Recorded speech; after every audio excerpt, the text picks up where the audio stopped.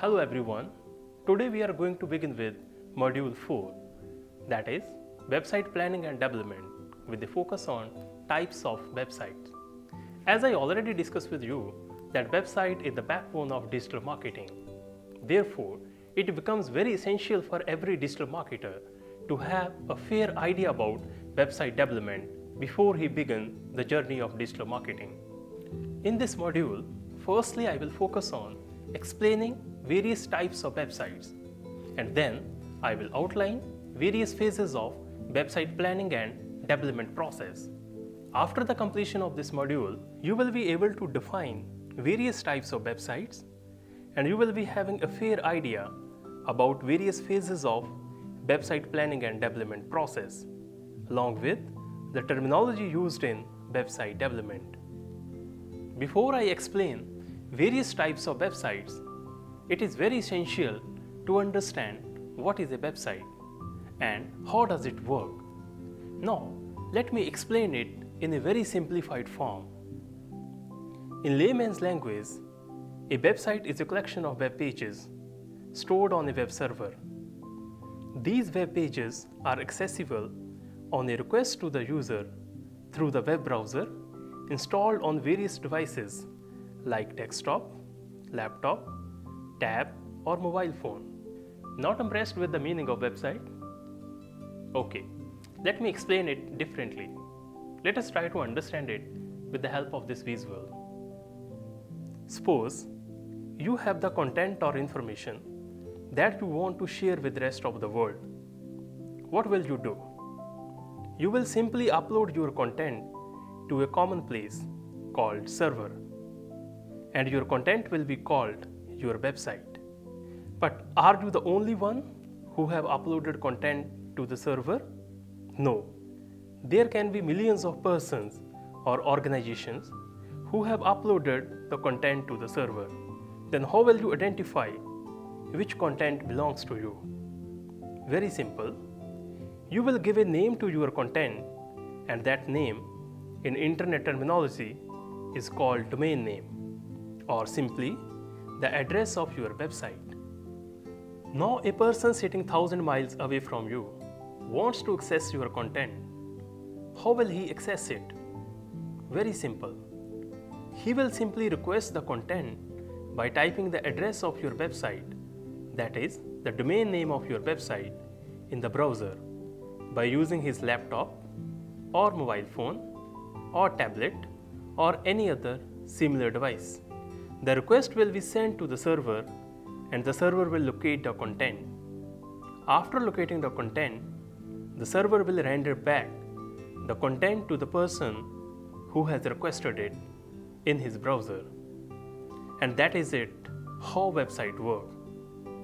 Now let us discuss various types of websites. Websites can broadly be classified into two types. The first one is performance-based website and the second one is purpose-based websites. Performance-based websites are usually classified on the basis of how websites are designed and presented.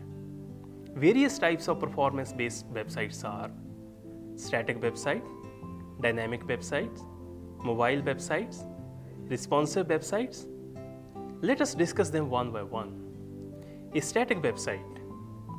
As the name suggests, a static website is a very simple and basic website and is designed using HTML pages without any scripting.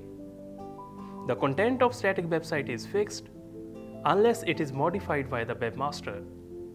Here the webmaster is a person who develops and manages the website. That means the content on static website is the same for every user irrespective of his identity, location and time. Look at this website playworksmanchester.co.uk dedicated to kids care. It looks very simple having kids care related content on various pages. Each tab like about us is having a fixed content which is same for all the users whether I or anyone else is browsing it either from India or from anywhere in the world.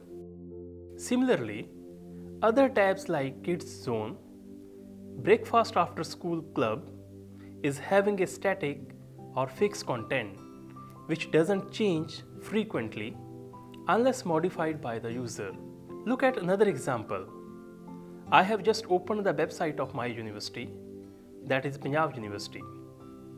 The content or the information is organized into various tabs like About Punjab University, Admission, Hostels, Research Scholars, Departments, etc.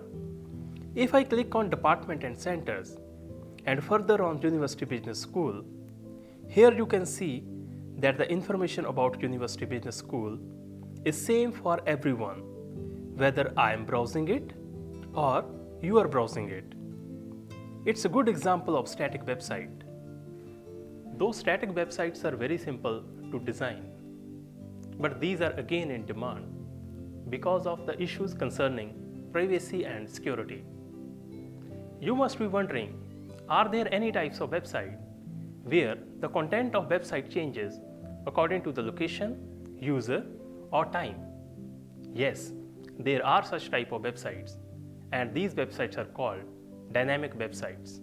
In case of dynamic websites, information on page is not fixed.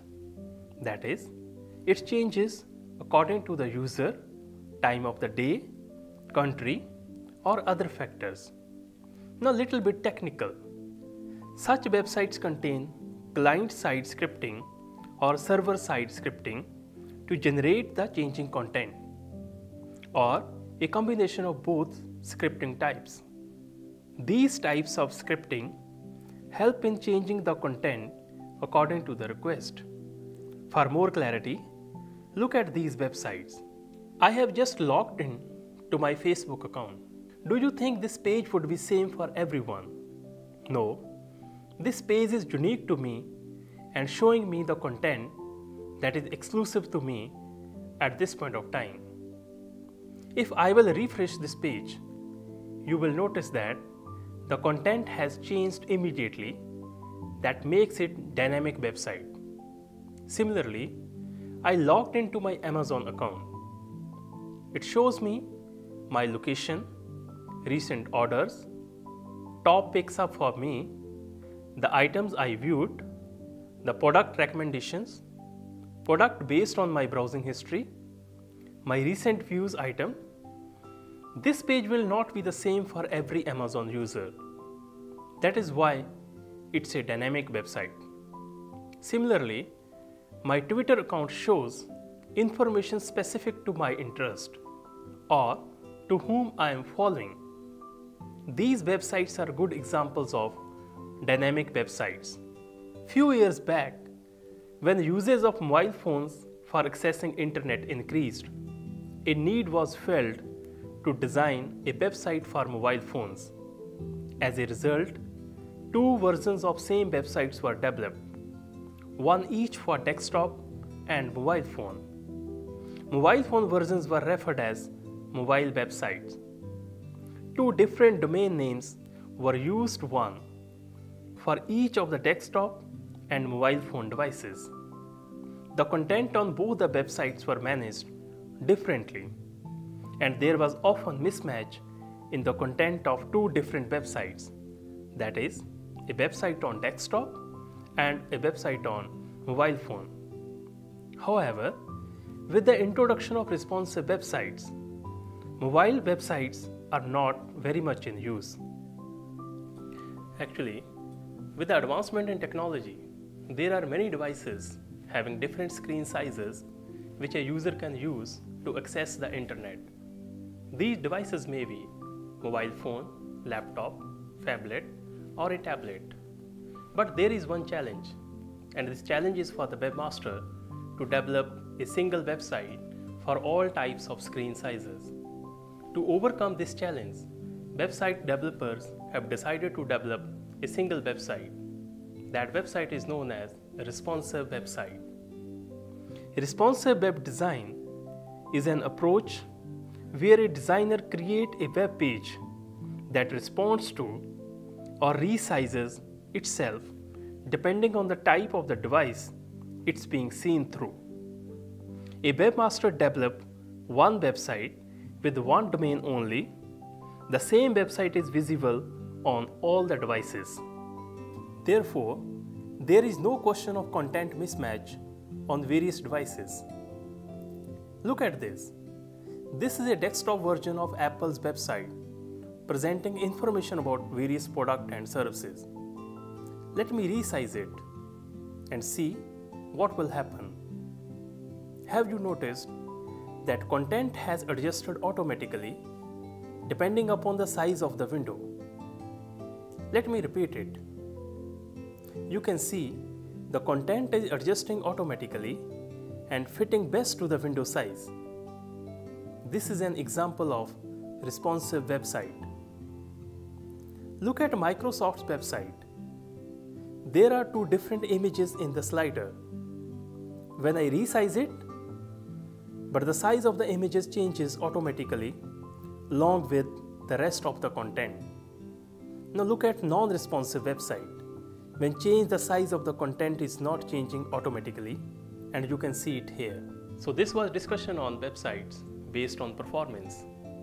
In the next video, I will discuss with you the various types of websites based on the purpose.